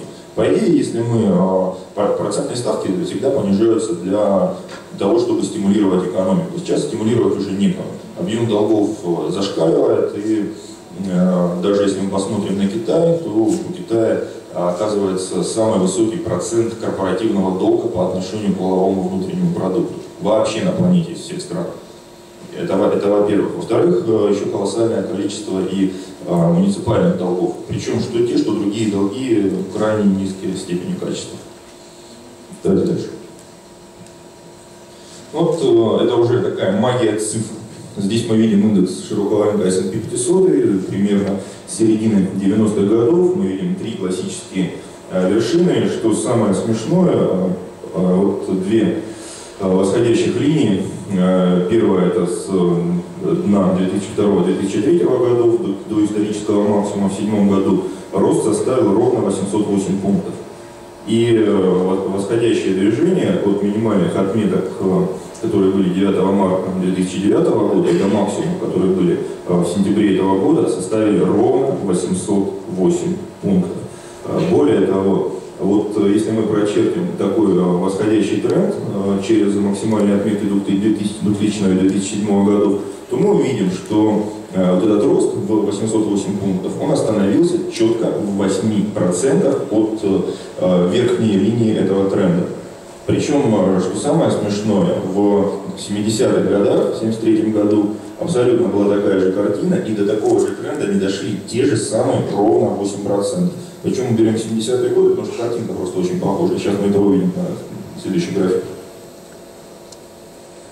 Ну, Здесь мы э, смотрим опять э, э, картинку с 90-го примерно года и до наших дней. Мы четко видим, это период времени квартал. Мы с вами четко видим, что каждый предыдущий раз вот, средние линии, соответственно, в 2002 году это средняя линия за 50 кварталов, в 2009 году средняя линия за 100 кварталов, и совершенно логично было бы предположить, что мы вот нарисуем еще примерно сходим на тот же самый тренд, примерно получается начало 2014 года, и уровень индекса тогда уйдет ниже 600 пунктов. То есть это более чем в два раза индекс сожмется с нынешним уровнем. Почему так? Теперь давайте посмотрим 70-е годы.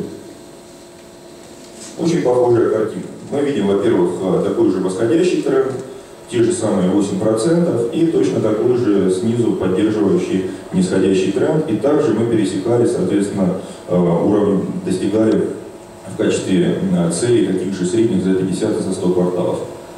Все складывается очень-очень красиво. Здесь единственное, немного э, больше волатильность, она расходящаяся, но связано это понятно с тем, что тогда была принципиально другая инфляция. Но это не критично. Если мы, например, нарисуем эти графики в логарифмической шкале, то есть если по изменениям были сопоставимы, они не будут так сильно э, расходиться. А, поэтому это одна из причин, да, по которой, то есть здесь и совершенно четкие мы видим с вами графические показатели, и там, и нумерология сюда закралась, да, то есть я это не сам придумал, я это совершенно случайно нашел и люблю копаться во всяких подобных вещах, ну, как бы говорят сами за себя. Следующий график. Да, вот. Тоже очень интересная картина.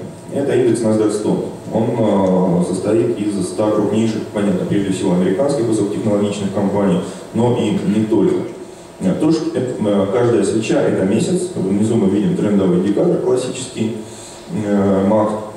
И мы видим, что на этом индикаторе второй раз в истории, именно в индексе NASDAQ 100, на месячных графиках мы видим две подряд дивергенции. Это второй раз в истории этого индекса за все... Вот NASDAQ с 85 -го года существует. Если мы нарисуем индекс NASDAQ Composite, там такая же двойная дивергенция, но только она первый раз в истории случилась. То есть вообще первый. Никогда такого не было. Вот с начала 70-х годов, как только начали рассчитывать этот индекс, мы сейчас попали первый раз в такую ситуацию. А, предыдущий раз, когда были а, похожие дивергенции, не двойные, а одинарные, падение составляло 50%. Я анализировал по NASDAQ. Всегда. Ну, не меньше 50, так скажем. Вот. Поэтому вот, еще одна да, такая гирька на чашу весов. А, почему? Вот в чем проблема NASDAQ? А, проблема состоит в том, что а, мы уперлись. Мы видели, то есть для того, чтобы нам пойти куда-то дальше, а, нужно сделать что-то новое, что будет больше, чем Apple. То есть вся мировая система сделана таким образом, что мы должны всегда расти. И раз уж мы подошли э, к этому интересному графику, я, во-первых, хочу сказать, почему так важны высокие технологии и, собственно говоря, каким образом работает вся наша цивилизация и почему то время, в котором мы живем сейчас, оно так важно, и почему старые элиты будут уходить. Причем абсолютно безусловно, на их время вместо будут приходить новые элиты, ну, а, собственно говоря, наша э, с вами задача состоит в том, чтобы э, максимально выиграть от этого процесса. В идеале, без, безусловно, это стать новой элитой. Не обязательно, да, это сделает там, наше поколение, может быть, это будут наши дети, может наши внуки. Но наша задача сделать этот, этот задел и э, ну, это мое мнение, я его, безусловно, никому не навязываю. Но раз вы все здесь, значит, наверное, вы в чем-то со мной согласны. А, Если мы посмотрим на то, каким образом с самого начала развивалась человеческая цивилизация, то мы с вами увидим, что очень важная всегда была э, процедура разделения труда. Для того, чтобы пройти куда-то дальше в уровне своего и экономического, и социально-политического развития, нужно было ну, перейти на новую ступеньку разделения труда. Для, абсолютно необходимым для этого условием является коммуникация. Потому как что такое разделение труда, допустим, каком-то первобытном или около первобытном обществе? Это существует, например, одна деревня, которая полностью живет натуральным хозяйством и полностью себя перед- ну, покрывает. Но а, у, людей образуются некие, некие способности к производству чего-то там лучше. Не знаю, допустим, одни лучше выращивают пшеницу, другие лучше выращивают картошку. Вот, и для того, чтобы а, они, они в конечном итоге это понимают, допустим, да, там соседней деревни, которая за холмом, и договариваются, чтобы, ребят, давайте вы сделали, вы вырастите это, мы вырастите то, потом поменяемся, и таким образом получится некий добавочный продукт. Чтобы это произошло, они должны хотя бы понять друг друга, то есть договориться, говорить на одном языке. И так вся история цивилизации. А, Первый прорыв, э, понятно, что э, всегда там до э, буквально там, 19 века любой, э, вся коммуникация это было, было транспортное сообщение. Первый прорыв это финикийцы, которые сделали лодку и смогли доплыть до островов Средиземного моря. Таким образом началась торговля, ну и так далее. То есть последнее такое известное событие – это великие географические открытия. Если мы приходим в наше время, мы видим, что это интернет, мобильная связь, э, социальные сети, ну и так далее. Э, вот. А, Почему надо смотреть именно на NASDAQ? Потому что ни для кого из нас не секрет, что а, все коммуникационные прорывы полностью не просто происходят, они контролируются из Соединенных Штатов Америки. Соответственно, до тех пор, пока эта штука двигается, до тех пор Америка номер один. Но вот эта картинка в NASDAQ говорит о том, что здесь существует большая опасность. Почему опасность? Потому что э, дальше двигаться уже тяжело. То есть для того, чтобы эта система, которая существует с самого начала времен, дальше развивалась, мы должны сделать новый Apple, который будет стоить уже там, не 700 миллиардов, да, как он стоил, а будет стоить там, триллион, к примеру. Иначе вся эта штука просто накрывается медным тазом. А, Я не исключаю того, что новый Apple там, через, не знаю, 5 лет там, да, будет сделан. Но, во-первых, нужно э, выпустить пар. Это первое. Второе, шансов на то, что это будет сделано, очень и очень а, мало. А, потому как, в принципе, что такое Apple? Это никаких новых технологий. Ну, вот вообще никаких, ничего нового. Это какие-то старые вещи, которые сделаны более удобными для использования и э, по классике, как- каким образом работает вся экономика, это создание новых потребностей. И сделали потребность э, гениальным маркетинговым ходом, то, что вот всем, всем нужен этот, этот iPhone.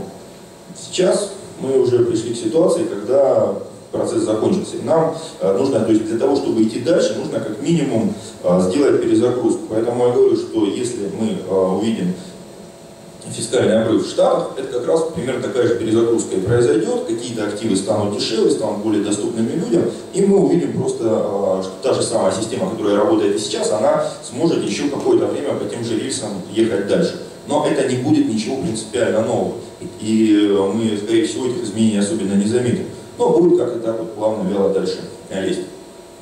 А, С другой стороны, для того, чтобы, а, почему так важен процесс разделения труда, мы с вами видим, что а, в принципе, да, мы, человеческая цивилизация, умеем развиваться и создавать что-то новое только в тех ситуациях, когда мы сталкиваемся с каким-то новым, неизвестным для нас менталитетом.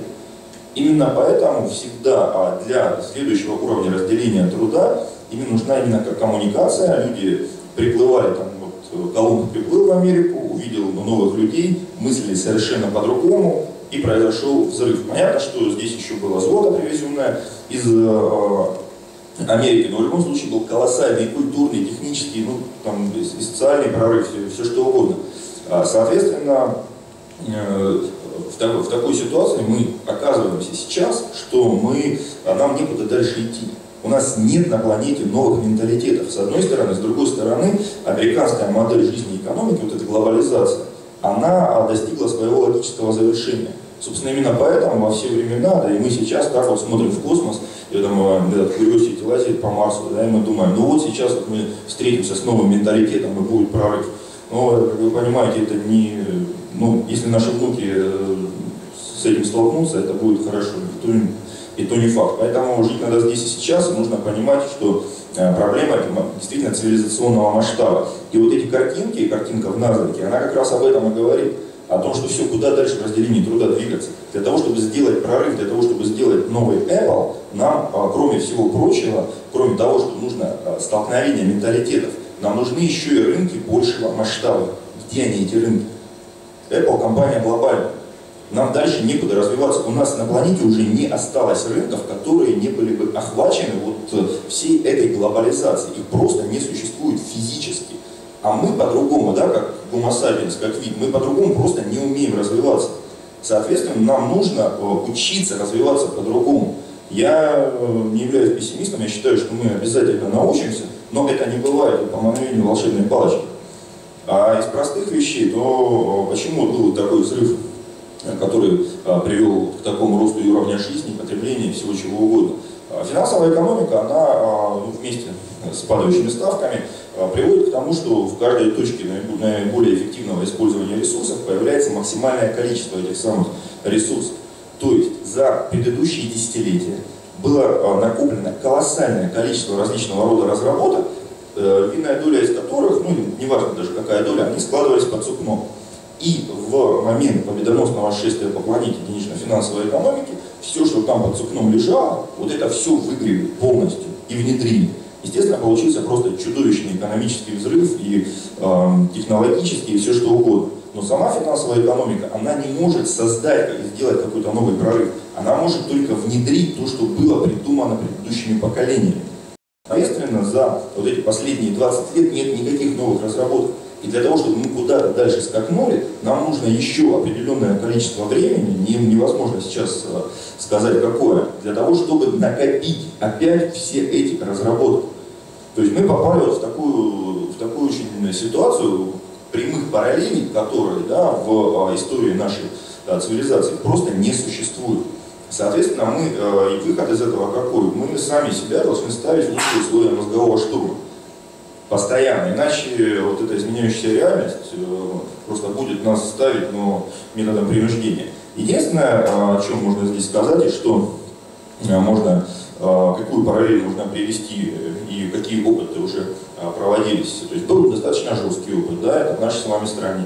То есть страна за железным занавесом смогла а, создать наукоемкую экономику. Мы сделали колоссальное количество прорывов. Какой ценой, мы все прекрасно знаем, но это сделано было. В принципе, по этой модели сейчас идет единая Европа. Это идет, то есть, так как глобализация вширь уже невозможна, идет глобализация вглубь. То есть стираются национальные различные отличия, стираются а, какие-то культурные отличия и так далее.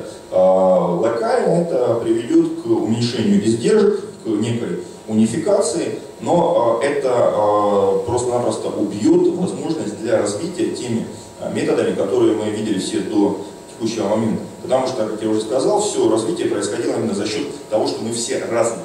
И чем мы более разные вокруг, и чем мы по-разному подходим к ситуации, тем больше шансов на то, что мы что-нибудь новое прорывное создадим. Поэтому чем мы будем становиться новыми одинаковыми, это убивает модель развития по сторонам. Соответственно, не исключено, что это приведет к какому-то провалу и экономическому и так далее. Но на базе этого а, это не говорит о том, что это идет какая-то деградация или дегенерация даже. Потому как мы видели на примере Советского Союза, да, что пытаясь как-то так унифицироваться, а, можно найти другие точки для роста. Но это достаточно сложно, и как это будет выглядеть сейчас сказать абсолютно невозможно. Единственный а, вариант, а, мы, во-первых, должны понимать, где мы находимся, мы должны понимать, что а, старыми методами действовать нельзя, нужно, мы понимаем прекрасно, что будет уходить, что будет отмирать и куда нам дальше двигаться.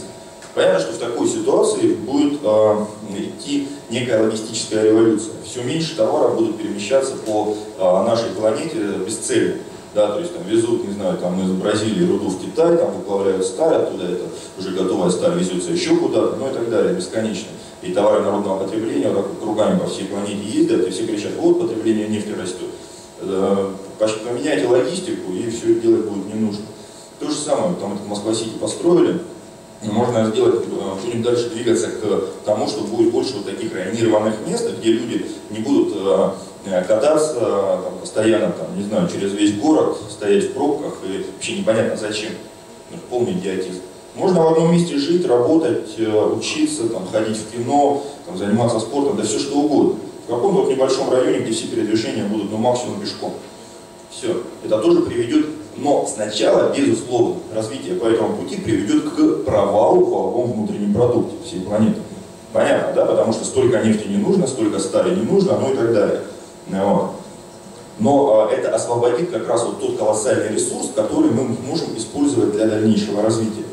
Но процесс этот достаточно длительный, но он уже сейчас идет. А точки мы знаем роста, та же самая коммуникация, это логистика, а, затем а, если мы посмотрим на то, каким образом человечество использовало э, энергию, то мы увидим, что в углеводородах мы отработали только два агрегатных состояния углеводородов. Сначала это твердое, дрова и уголь, затем сто лет назад примерно э, уголь потерял, перестал быть стратегическим сырьем, и постепенно начала становиться нефть, но уголь никуда не ушел. Точно так же в ближайшие годы, может быть десятилетия, скорее всего, мы будем переходить от нефти к газу, который мы также используем, нефть также никуда не уйдет, но она перестанет быть стратегической. В этом плане в России тоже есть достаточно большие преимущества, потому что у нас самая лучшая в мире газотранспортная система, вот, а улучшить, сделать газ более дешевым можно в том числе и за счет дешевизны рубля. Есть, ну, вариантов здесь достаточно много, но понятно, это наука.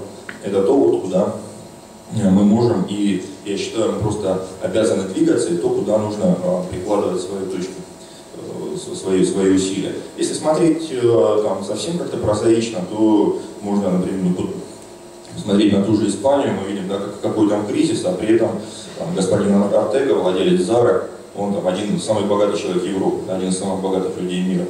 Потому что он сделал правильную ставку на более дешевую одежду, и сейчас, вот, говорят, 25% испанцев одеваются в магазинах секонд-хенд тоже вот точка приложения, точка приложения сил. Поэтому, понимая какой-то дальнейший тренд, можно понимать, что куда, а, где, где, где можно найти какие-то точки роста. То есть в любой ситуации, при в любом падении всегда есть точки роста, абсолютно всегда. Понятно, что да, при стагнации или при падении их гораздо меньше, чем чего-то другого.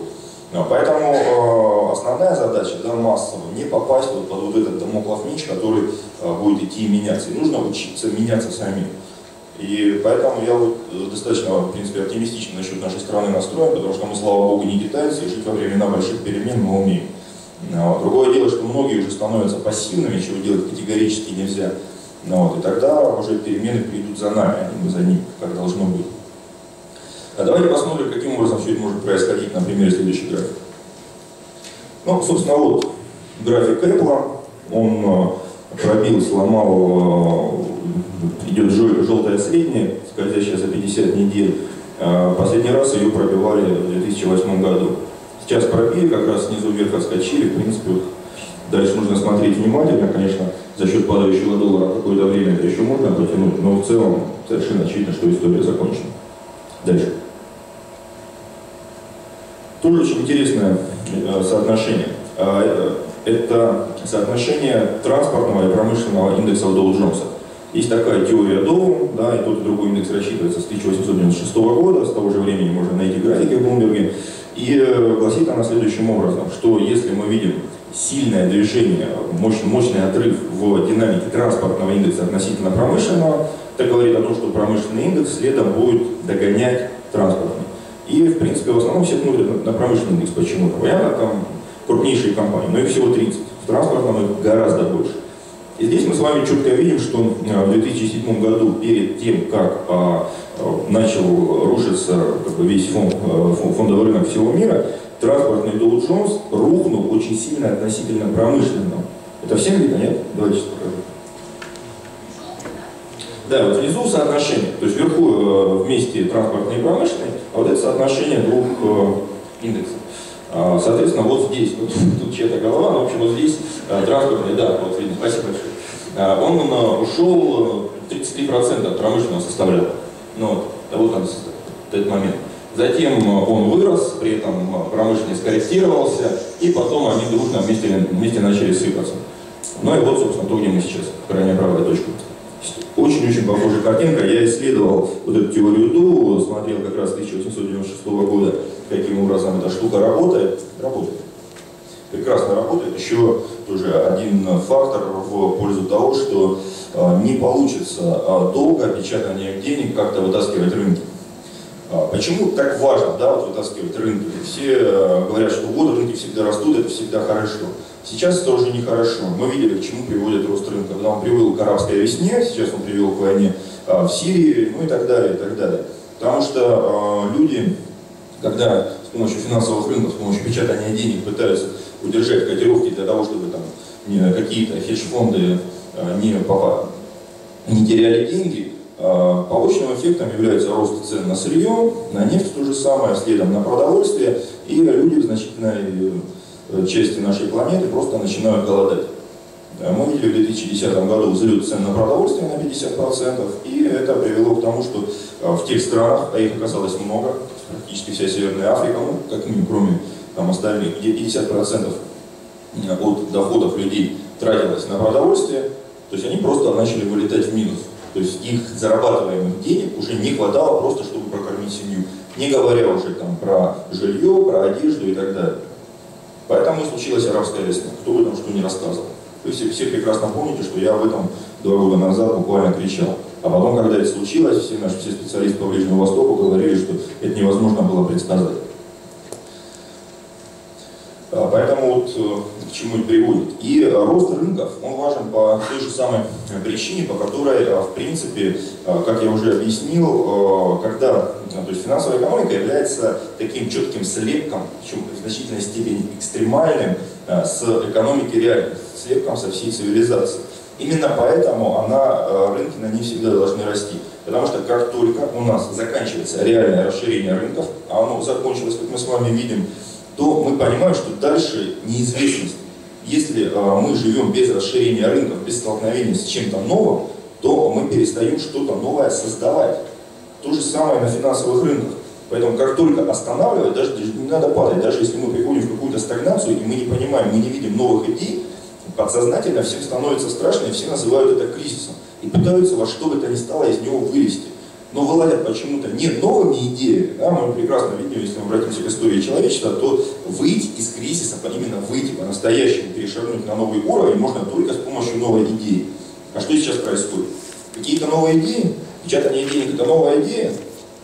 Не помогает, давайте еще напечатаем. Ну, здорово получается. В конечном итоге, то есть, э, подход очень классный. Но мы же, никто же не верит, да, что будет наступит конец света. Хотя для абсолютного большинства жителей нашей планеты это был бы самый простой сценарий. Потому что вот именно в конец света все верят э, гораздо легче, да, чем в то, что вот именно его счет именно в этом банке завтра аннулируют. То есть вот это несправедливо. А конец света это нормально, потому что он уже для всех конец света. Поэтому, поэтому люди недвижимость покупают. Если недвижимость глобально рухнет, да, ну значит всем точно будет совсем плохо. И я буду так же, как все. Зачем быть как все? Давайте развиваться, давайте что-нибудь создавать.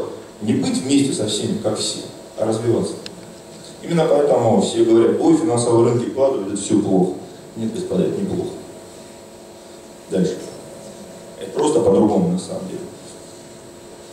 Это индекс страха. Это еще один такой э, камешек на, на те же самые весы, про которые я говорю. А здесь мы видим внизу показатель силы тренда, э, и э, мы, видим, что сейчас он находится ну, практически на абсолютном экстреме. Соответственно, четко видно, что каждый раз, когда э, индекс страха, ну, в данном случае это индекс безразличия. Я даже вспомнил Василия Сарионовича, говорит, классическая потеря бдительности. Над чем она заканчивалась, всегда все мы тоже прекрасно знаем из истории. Но вот сейчас именно такая ситуация. Соответственно, долго жить в таком безразличном состоянии просто не получится. В какой-то момент действительно начнет становиться страшно. Причем страшно просто от того, что нет новых идей. Дальше. Что? Индекс волатильности по опционам. То есть чем э, больше, больше скачков, да, чем сильнее скачут рынки в разные стороны, тем, собственно говоря, страшно. Ну, то есть, если вам, вот вы сегодня утром встали, у вас рынок раз упал на 3%, вы смотрите, да, фигня какая-то. Все, и дальше рынок не падает, например, или не отскакивает. Волатильность низкая. А если вы пришли, ой, страшно, я тут давайте продам. Он еще там на 2% упал, потом кто-то пришел, сказал, вот это дешево, вырвал рынок еще на 5%. Вот начинает скакать. То вам страшно то, что он упадет, то страшно, что он вырастет. Понимаете? Поэтому волатильность начинает резко возрастать. А когда всем все все равно. Вот сейчас примерно же. Это индекс РТС. Здесь, в принципе, конечно, возможны разные э, варианты, но, э, исходя вот из тех предыдущих графиков, э, варианта основных, на мой взгляд, понятно, что мы, может быть, отсюда где-нибудь постоим и какое-то время еще за счет печатного станка и за счет какой-то нестабильности на Ближнем Востоке, хотя, как я уже много раз говорил, раз Израиль полез в газу, то в Иран точно не полезет, но это с одной стороны, то есть цены на нефть вырвать не получится. А с другой стороны, даже нынешние цены на нефть, они уже крайне сложно перевариваемы мировой экономикой, а для России их уже категорически недостаточно. Это мы увидим дальше. И эм, эм, если тоже другой момент. Израиль один с Ираном не справится, просто наносить какие-то точечные удары смешно, это все израильтяне прекрасно понимают.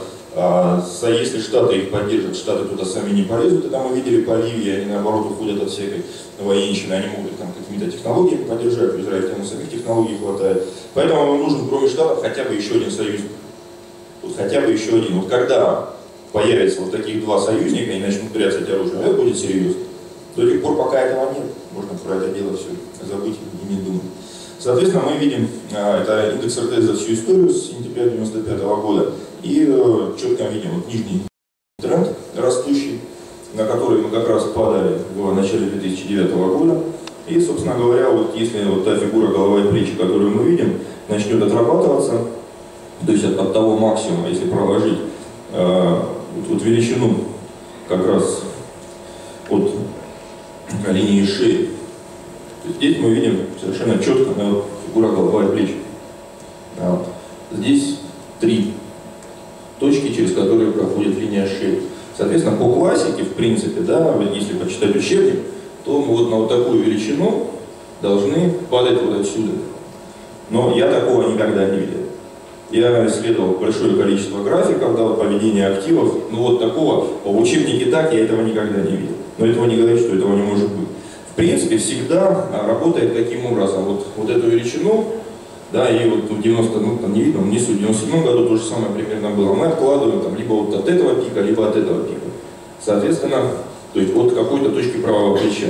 Соответственно, если вот от того максимума, который был на заявлениях о третьем раунде количественного смягчения, отложить вот эту величину вниз, то мы попадаем четко на вот этот тренд. И если эта штука сработает сейчас, то есть, грубо говоря, если тот рост, который мы на этой неделе видели, он в ближайшие недели захлебнется, и рынок пойдет вниз, то где-нибудь там в марте, в апреле, в мае мы окажемся вот здесь. Это в два раза дешевле, чем сейчас. И тогда здесь надо будет покупать. Но я об этом еще скажу. Но, естественно, может быть другой некий какой-то вариант. Вариант, в который мы будем каким-то образом болтаться, нисходящий еще год, и провалившись потом, мы свалимся гораздо серьезнее, ниже 300 пунктов. Но это будет уже совсем другая страна, как вы понимаете. Чисто теоретически, да, но я не вижу на чем. Я не вижу. Я для этого приводил вам сколько американских индексов нефти. Я не вижу. Просто не вижу. Если кто-нибудь мне назовет несколько факторов, я с удовольствием скажу да. То, что по различным финансовым показателям российские индексы дешевле западных аналогов, ну они почти всегда дешевле. Ну вот здесь не были дешевле, да, это правда. No. А так, э, но при этом у нас существует колоссальное количество факторов, которые а, делают нас не такими уж и дешевыми. Вот. Поэтому а, какие факторы? Постоянная падающая прибыль. То есть то, что сейчас делает Центральный банк, вот мы вчера с а, Евгением Надушиным в бирже обсуждали этот момент. То есть, с одной стороны, да, вроде бы Центральный банк поступает правильно, вроде бы. Но если бы остальные ведомства делали примерно то же самое, но на шаг впереди были. Вот тогда, да, тогда все замечательно. Тогда рубль недорогой, тогда он нормальный, тогда развиваются технологии, развивается потребление, ну и так далее. Но этого же нет категорически, есть обратное. А при той структуре нашей экономики, то, что, что мы видим, рубль просто категорически переоценен. А производительность труда у нас, э, э, ну, я не знаю, кто говорит, что она растет, я этого не вижу. Но в любом случае, грубо говоря, зарплаты чем-то все дальше и дальше отрываются от производительности труда.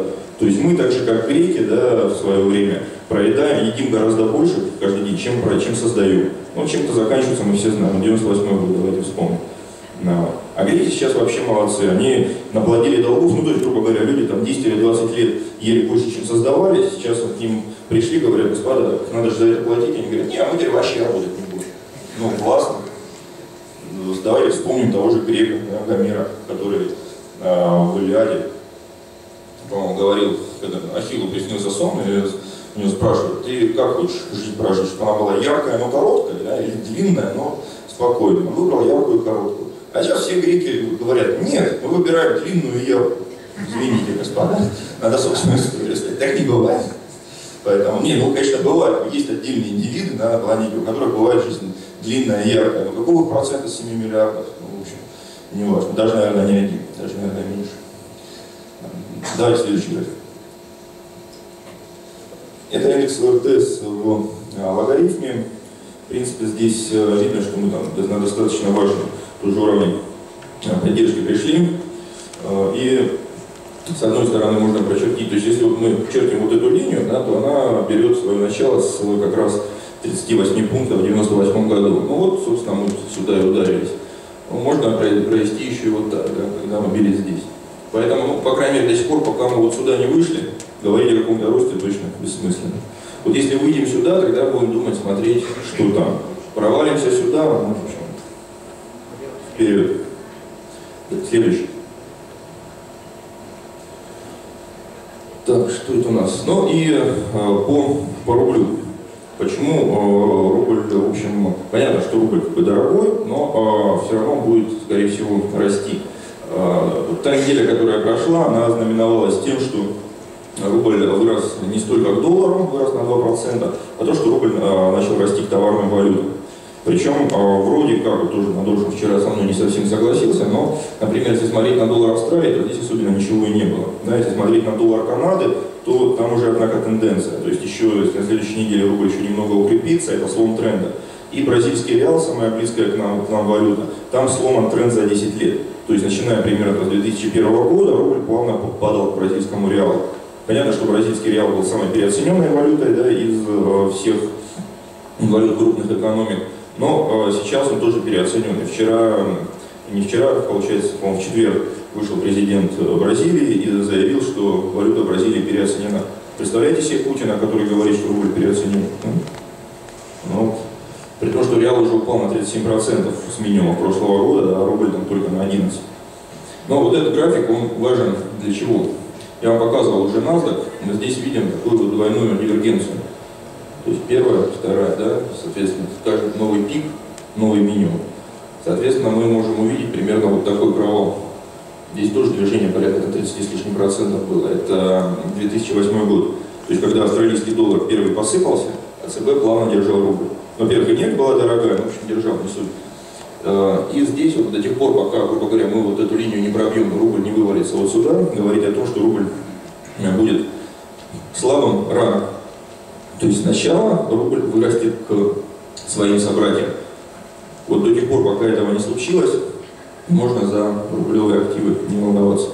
Владимир, я помню, месяц назад ты говорил, что как раз рубль пробивал 200-дневную восходящую среднюю по отношению к австралийскому доллару. А вот примерно на этом графике в каком месте Важно, это для тех, кто там торгует сам непосредственно, действительно очень четко последние годы работает эта штука, когда рубль вырастает за 200-дневную среднюю, в тот момент действительно российский наш рынок достигает некого локального максимума.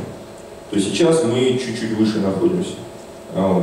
Поэтому здесь нужно смотреть, соответственно, вот отскок на рынке пройдет, если рубль вот как раз укрепится да, за 200-дневку, и надо по дополнительным индикаторам еще там РТС и МВБ смотреть, то это точка разворота. Ну вот, вы можете сами наложить график и посмотреть. Работает очень, очень хорошо. Да.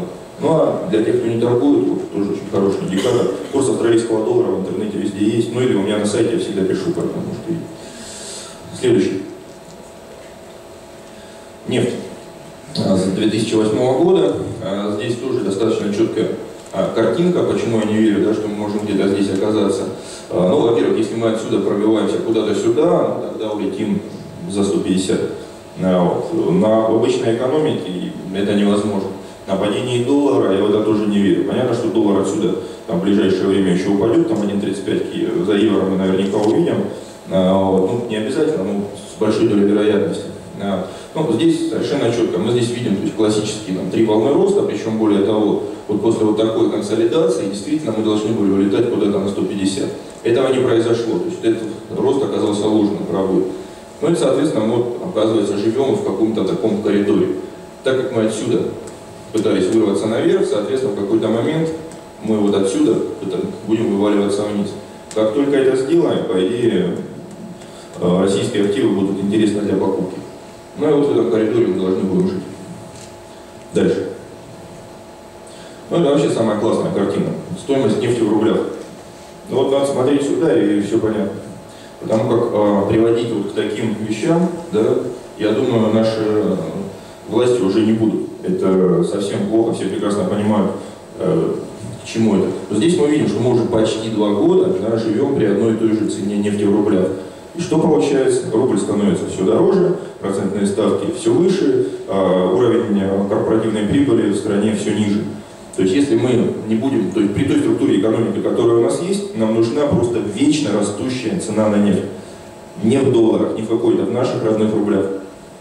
Как это будет обеспечиваться, все равно. Либо будет расти цена на нефть на внешнем рынке, да, что для нас на самом деле хуже, либо будет ослабевать рубль. Либо надо просто структурно менять экономику, и тогда эта штука не будет работать. Как можно структурно менять экономику?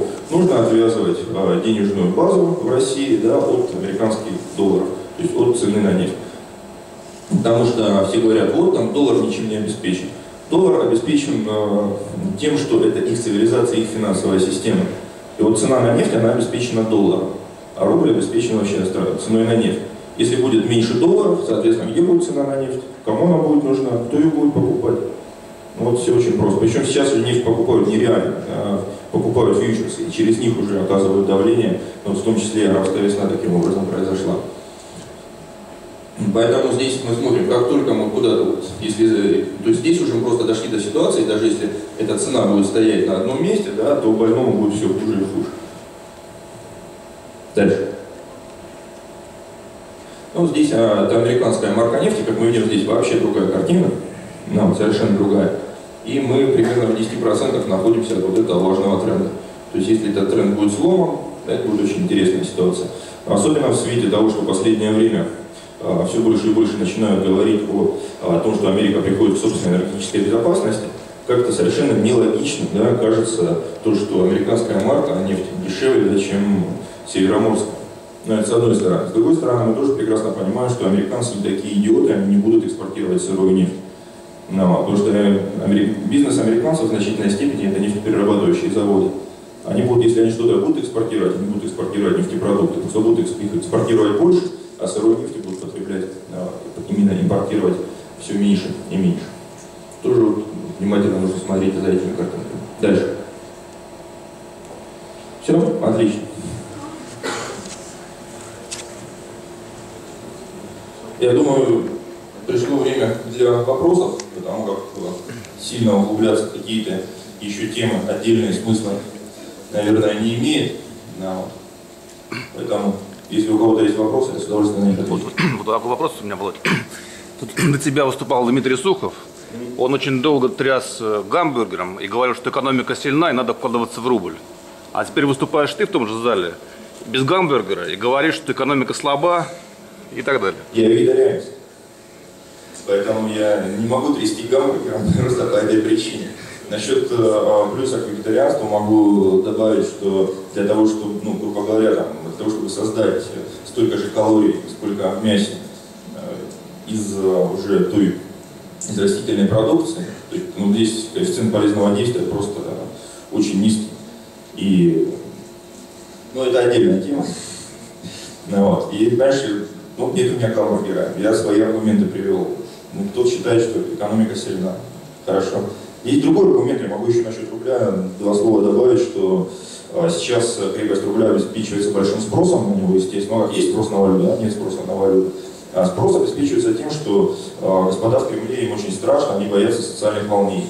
Соответственно, они все больше подачек а, менее обеспеченным слоям а, дают, э, действительно а, у менее обеспеченных слоев растет заработная плата, и они бегут срочно потреблять, причем потреблять не только на ту часть зарплаты, которая выросла, но и в кредит. Если мы посмотрим, то, то только за вот, прошедшее время текущего года объем выданных ипотечных кредитов на балансах у нашей банковской системы, он более чем удвоился. Более чем удвоился. То есть это колоссальная цифра. Объем выданных потребительских необеспеченных кредитов, там рост на 50%. И здесь, вот, если мы просто посмотрим по ипотеке, да, у нас миллион семей в ипотеке. Миллион в стране. Где? Есть, э, рынок, на мой взгляд, близок к насыщению.